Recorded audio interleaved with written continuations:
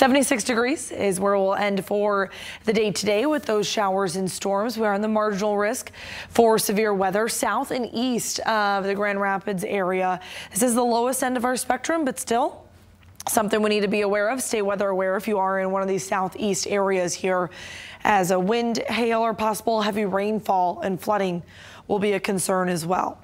We'll be shutting down any showers and storms as we go throughout the overnight. 54 degrees. That's where we drop back and then we'll end up being dry tomorrow. Maybe an isolated shower early on, some cloud cover. We'll be drying out, wiping away that cloud cover and getting to full sunshine by the second half of your Tuesday.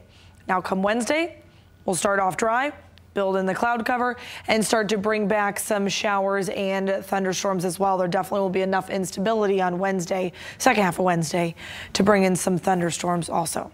Here's the first couple of days. A full seven day planner, 76 degrees today. How much rain are we talking? I think in general, a lot of us will see a half an inch to three quarters of an inch of rainfall. If you get a heavy downpour in one of those uh, showers or storms, you could see closer to an inch of rain. So half an inch to an inch, a good bullseye here.